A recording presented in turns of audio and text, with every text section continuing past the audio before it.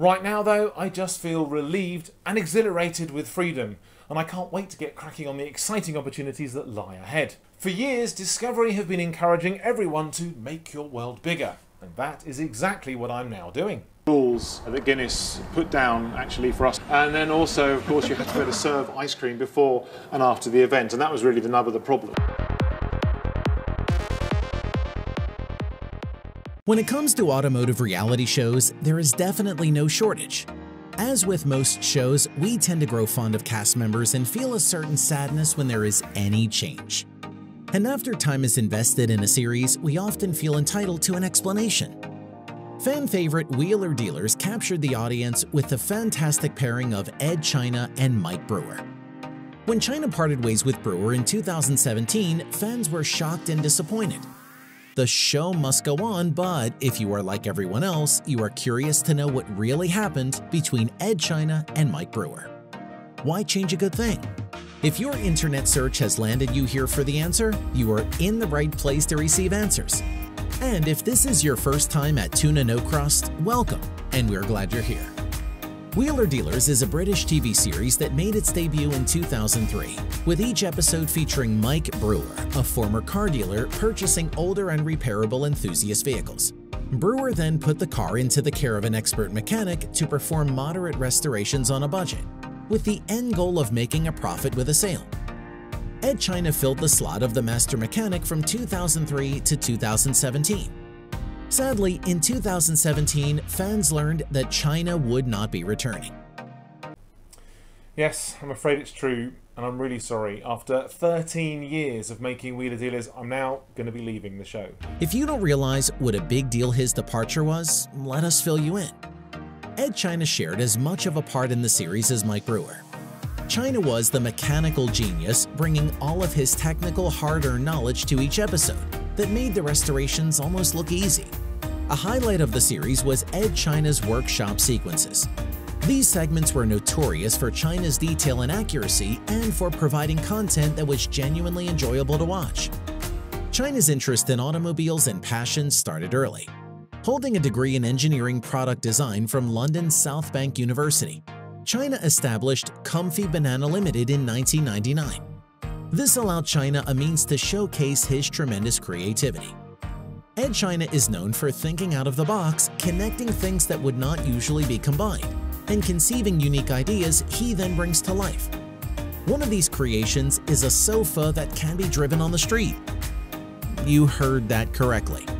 China constructed a mobile sofa that set a world record in 1998 for being the fastest furniture. I set the world record for fastest furniture about 20 years ago, about 1998. And it was, uh, it was that's kind of what set the whole thing in motion then. Because once you've got one record, a Guinness World Record isn't enough. You need to have lots and lots. And that's where we started building crazy cars and getting crazy records. reaching a speed of 87 miles per hour. If you were wondering if it is street legal, the answer is yes. How nice would it be to never have to get up from the couch to go to work, the grocery store, whatever? He didn't just stop with fast furniture. He also holds the Guinness World Record title for the fastest shed, toilet, bed, milk float, etc. His zany creations launched Edd China on a course of becoming a media personality, regularly appearing in print and broadcast media, eventually becoming a popular guest on a variety of TV shows. In 2003, China began working on the series Wheeler Dealers, hosting alongside Mike Brewer. Over the 13 years that followed, China restored 135 classic cars. Mike Brewer, on the other hand, was born in Lambeth, London, and grew up around his car-loving father who let him learn to work on his Ford Popular, where his passion for car repair and modification began.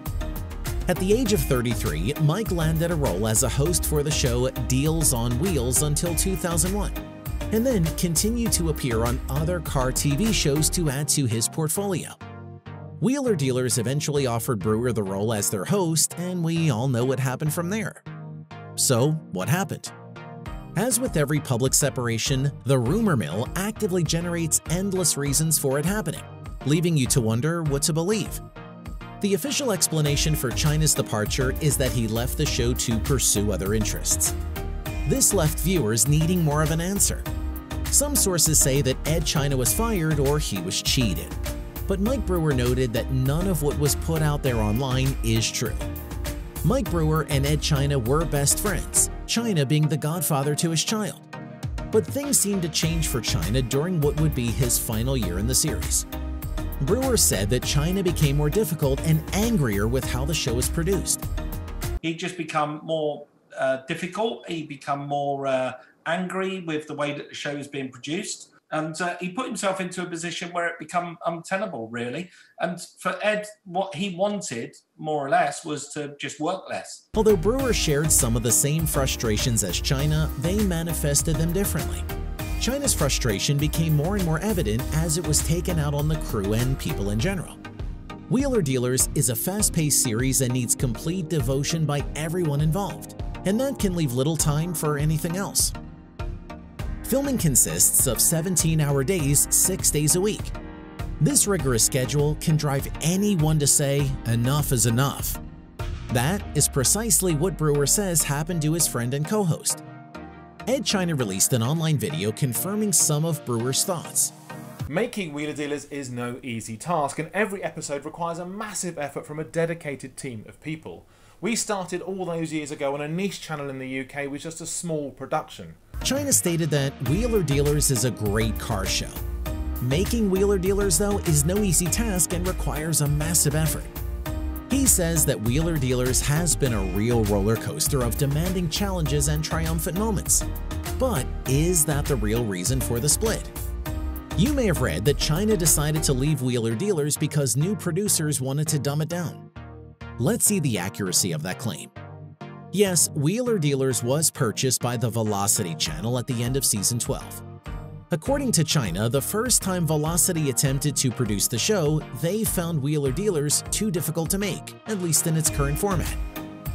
Remember earlier when we referred to the detailed, highly entertaining restoration sequences of Edd China? Those segments featured in-depth coverage of China's repairs highlighting every modification and provides a listing of spare parts and costs. And as stated by China, these parts are what he considered to be the backbone of the program, it seems that Velocity thought otherwise. Production of China's workshop jobs was one of the most complex parts of the show to make. Reducing these show parts would save production time, effort, and, bottom line, money.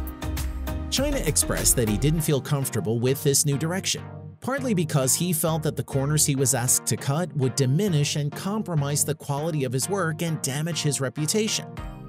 In China's official statement, he said, so I have come to the conclusion that my only option is to let Velocity get on with it without me. Challenges and triumphant moments. It's been a real privilege to meet and work with so many great people, and from the workshop to the joyrides, to be allowed to experience so many fabulous cars and amazing locations. Mike Brewer acknowledged Edd China's explanation in a way that leaves people wondering if he was mad at China.